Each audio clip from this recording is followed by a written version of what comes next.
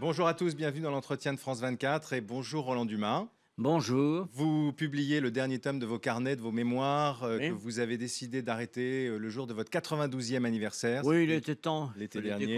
Peut-être était sage. C'est un grand plaisir de lecture, je tiens à le dire tout de suite. Euh, c'est publié sous le titre Politiquement incorrect, qui n'est pas volé du tout, Mhm. je le dis aussi. Ça pullule d'anecdotes, de réflexions légères, lestes même parfois, profondes évidemment, sur euh, la géopolitique. Euh, alors c'est difficile de, de passer euh, une dizaine de minutes avec vous et tout évoquer. Le journaliste, le résistant d'abord, le journaliste, l'avocat, deux fois ministre de François Mitterrand, ministre des Affaires étrangères, le président du Conseil constitutionnel. Il y a aussi l'esthète, l'homme à femme, enfin j'en passe sur les sujets. Je vais, euh, vous ne m'en voudriez pas, euh, plutôt axer sur l'actualité et puis aussi sur les paradoxes de, la personnalité de Roland Dumas. Mais d'abord, je ne peux pas euh, ne pas commencer par revenir sur ce que vous avez dit ce matin. Alors là, pour le coup, c'était encore dans le politiquement incorrect, peut-être même de la correctionnelle, on verra, chez Jean-Jacques Bourdin sur BFM TV à propos de Manuel Valls. On écoute. Vous pensez qu'il est socialiste, Manuel Valls Ben, il l'est à sa manière, comme une grande partie du socialisme français. Regardez un peu l'histoire des, des socialistes de- depuis Oui. la guerre d'Algérie. Hein Mais C'est quand même des Il socialistes est, qui ont fait il la est guerre. sous influence juive Ah, euh, ça, probablement. Eh ben, Vous- c'est- c'est- vous le pensez c'est- ben, je, je- je peux le penser. Tout le monde a un peu d'influence. On en a d'abord beaucoup sous mais l'influence de sa Pourquoi femme. dites-vous ça? Sous l'influence de sa femme. Ben, Bien sûr. Ben, ben, pourquoi pas? Pourquoi Non, ne non, pas le dire? pas, je- je- Pourquoi ne pas le dire? Pourquoi ne pas le dire? Puisque c'est une réalité. Manuel Valls sous influence juive, qu'est-ce que ça veut dire? Et sous l'influence de sa femme, qu'est-ce que vous voulez dire par là? Eh bien, écoutez, l'expression euh, était dans la question. Est-ce que Manuel Valls subit l'influence du gouvernement israélien? Ah non, vous avez, on vous a dit influence juive, justement, c'est pas pareil, Oui, très important. enfin, peu importe. Ah non, non, mais c'est très important, euh, Roland Dumas, justement. fait, vous avez Peut-être tout à qu'on ne vous aurait pas euh, fait le même reproche si vous avez dit il est sous l'influence du gouvernement israélien. Oui, oui. Ça, reste, ça restera à démontrer aussi. Oui, peut-être, oui. Bon, ceci étant, ben, moi je pense que nous sommes dans un régime de liberté. Je crois savoir que beaucoup de gens se sont mobilisés ces jours derniers pour dire on a le droit de faire ceci, on a le droit de faire cela. Très bien. Ah ben, on de liberté, je pense quelque chose, je le dis. D'accord. Mais, mais qu'est-ce que vous avez voulu dire? Et puis en plus, vous dites qu'il est sous l'influence de sa femme. Mais à ce moment-là, c'est exactement ce qu'on vous a dit à vous, à un moment donné, que vous étiez sous l'influence. Vous avez eu, vous en parlez librement de vos maîtresses Oui, dans oui, votre livre. sûr. Votre, la, la- la relation que vous avez eue avec la fille de l'ancien ministre euh, de la Défense syrien ou Christine de Viejoncourt. C'est comme si on disait il est sous l'influence de ses maîtresses, Roland Dumas. Euh, Oui, pourquoi pas, mais on aurait le droit de le dire. Mais est-ce que je que- est-ce que démentirai. c'est vrai? Est-ce qu'un homme Bon, je ne pense pas. Mais peu importe, si, les gens le croient, ils le croient. Et si je le dément, je le dément. Si monsieur, si monsieur le Premier ministre dit qu'il n'est il n'est pas sous l'influence de personne, très bien, il le dit. Ça ne reprend pas un antisémitisme, un thème Ah ben non, antisémitisme vous- ordinaire. ce Vous voyez l'antisémitisme partout. Je vous en prie. Non, pas partout, pas partout, si mais, simplement voyez, de dire qu'un homme, parce qu'il est, parce qu'il a épousé une femme qui est juive, est sous alors, vous, l'influence. croyez que, vous croyez que je suis le seul à penser et dire ce que je dis? Ah non, non, mais bah, Bon. c'est- ce que je vous reproche, c'est pas de, c'est pas de, de dire ce que vous pensez, c'est de ne peut-être pas aller au bout de votre pensée, non? Euh, Si, c'était le bout du bout pour Hmm. moi, c'est tout. On pose une question. Hmm. Si je réponds, bien sûr que non, mais personne ne me croira. Ouais. Et moi-même, je ne me croirai pas, parce que je pense au contraire. Si je pense au contraire, je le dis. Vous avez vu ce que vous avez déclenché ce matin. hein, c'est euh, Comme disent les Suisses, j'ai mis le feu au lac. Vous prenez ça. Vous n'avez peur de rien, c'est- Bah, bah, écoutez, je ne suis pas arrivé à l'âge où je suis, après Hmm. avoir vécu ce que, ce que j'ai pu vivre au cours de cette longue vie, euh, pour dire, écoutez, je ne sais pas, regardez, vous voulez que je m'e- vous voulez que je m'excuse, je vais réfléchir. Mais non Vous ne vous excusez pas. ben, Je ne m'excuse pas. je- très bien. Mais rassurez-moi, on peut, on peut être juif et ne pas être inféodé au gouvernement d'Israël. Ah, mais bien sûr. Mais enfin, il y a une nuance là quand même. Je ne sais pas la- comment la- la- la- l'analyser. Écoutez, moi je vais vous dire, je vais vous dire. Vous allez dans un département qui s'appelle la Dordogne, j'ai été élu, à quelques kilomètres de Périgueux, à 25 kilomètres exactement. Vous avez un endroit qui s'appelle Brantôme. Vous y verrez un grand monument aux types qui ont lutté, les maquisards qui ont lutté contre, euh, contre les Allemands, et vous y verrez la liste des fusillés. Hmm. Il y a 26 fusillés. Il y a mon père dans les 26 fusillés, et il y a un 15 ou 20 juifs. Vous vouliez que je, que je critique les juifs? C'est justement ce que je ne comprends pas. Qu'est-ce que Eh ça ben, veut dire eh Vous ne comprenez pas, mais c'est à vous de le déterminer. Si les juifs ont tort sur un sujet, ils ont beaucoup de qualités. Hmm. Mais là, vous faites une attendez, généralité. vous dites attendez. les juifs ont beaucoup de qualités ou les juifs ont tort. Qu'est-ce que ça veut Oui, dire? oui, bien sûr, Ben, c'est vrai, parce que c'est une entité, vous ne l'avez pas nié quand même, que il y a- les, les juifs, c'est un, c'est un peuple. Ah, vous- comme les Français, comme les Donc Allemands. tous dans, tous dans le même sac, ils ont tous la même opinion, ils ont. Euh, ah ben, peut-être, oui. Quoique, moi, j'ai été impressionné par quelqu'un qui m'avait dit Vous savez, Roland, il n'y a pas de vote juif en France. Euh, Bon, très bien, j'en ai pris acte. Hmm. C'est vrai, c'est possible. Même, c'est vrai que- même Pierre Mendès France, dont vous dites qu'il est plus haut dans votre panthéon personnel que François Mitterrand, qui était juif Oui, mais- et qui était, qui était partisan de la cause palestinienne, que vous défendez aussi? Oui, mais c'est vrai, nous avons souvent parlé de la cause palestinienne. Et c'est très souvent, je lui disais, mais, mais, euh, Pierre, il faut y aller, c'est vous qui êtes le mieux placé de nous tous. Hmm. C'est vrai que sa parole, qui était la parole d'un juif, disant il faut traiter, souvenez-vous, il disait il faut faire la paix avec les Palestiniens, il faut traiter avec les Palestiniens. Bon, il le répétait, ça n'a pas été beaucoup écouté, il faut dire les choses comme elles sont.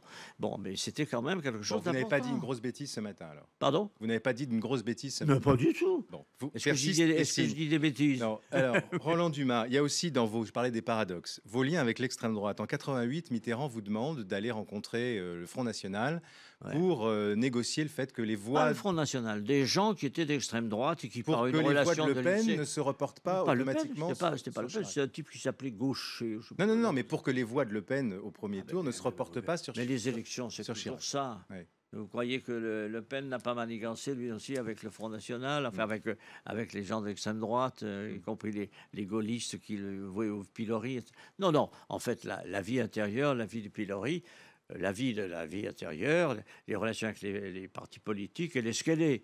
Il ne faut pas en tirer. Et vous avez beaucoup d'amis vous avez beaucoup d'amis à l'extrême droite. Tixier Vinancourt non. était un de vos amis. Tixier Vignancourt était au palais avec moi, on Mm. plaidait des affaires l'un contre l'autre. Mm. Un jour, Tixier Vignancourt m'a pris à partir euh, gravement. Je lui ai envoyé mes témoins et j'ai quitté la salle et Mm. j'ai demandé des excuses qu'il a faites devant le tribunal. Il Euh, ne faut pas dire pourquoi on retient ça et pas cela. Bruno Gollnisch, Dieudonné, Soral, on, Gollnisch, je le on- connais pas. on- on vous voit euh, Euh, photographier avec eux. C'est extraordinaire. Et, mais pourquoi vous re- remarquer toutes ces choses et pas d'autres? Parce que, non, mais parce que vous avez quand même un pédigré, la résistance, votre père assassiné Eh ben voilà. par les nazis. c'est- d'autant plus compliqué. Moi, j'ai été arrêté parce que je sauvais des, des juifs. Mon père a été arrêté Alors- quand ils sont arrivés à la maison.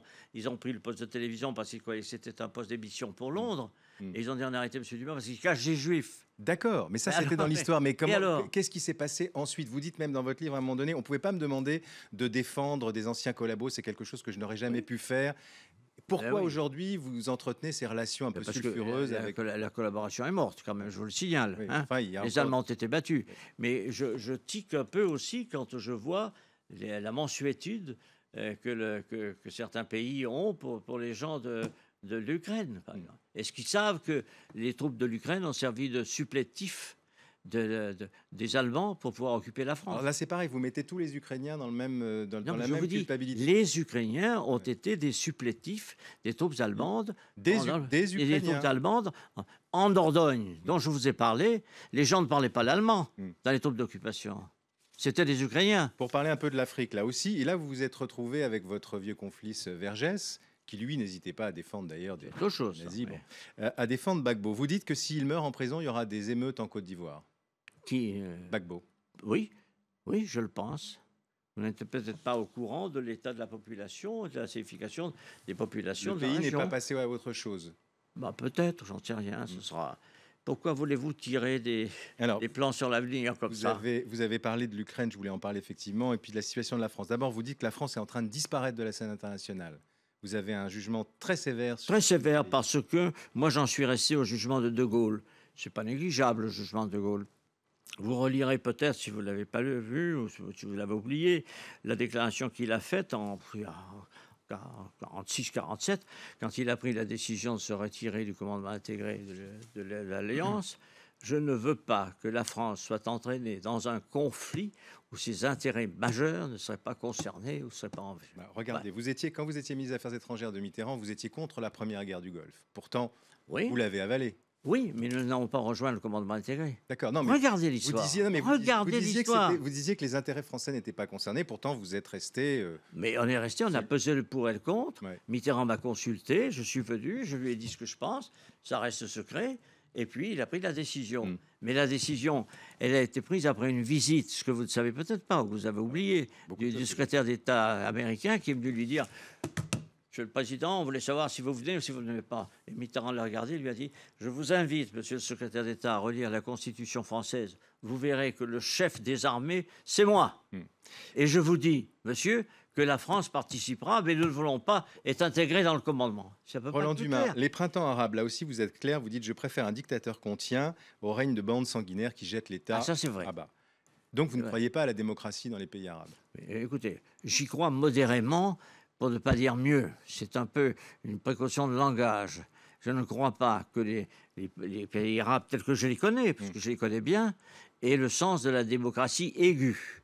Ceci étant, je crois également que dans ces pays, il faut des gouvernements, disons, un peu forts pour tenir les populations. Bon, alors, je remarque, comme par hasard, Kadhafi, enlevé. Le- la Syrie, euh, je ne ferai pas C'est pour ça que je vous pas soutenez- c'est pour ça que vous l'Irak. L'Irak, Hmm. tous ces chefs d'État qui étaient des hommes euh, un peu forts, Hmm. un peu durs, pas des démocrates, je vous l'accorde. Ils ont tous été enlevés pour substituer, soi-disant, la démocratie. Mais ça n'aurait pas, pu ça n'aurait pas pu tourner autrement, selon vous? Non, il fallait continuer. Mais tout le monde vous dit aujourd'hui, la situation, la situation de la Libye est une catastrophe.